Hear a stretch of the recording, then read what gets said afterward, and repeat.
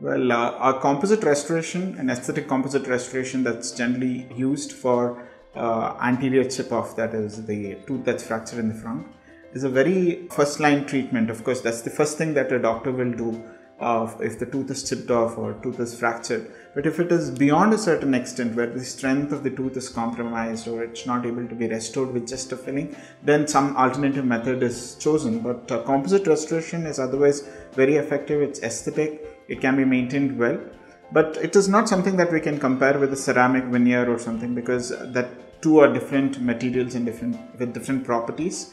Whereas a composite restoration would be a good solution for as a first line treatment when there is a chip off of the tooth without any root canal requirement. To watch more videos from me subscribe to dr circle channel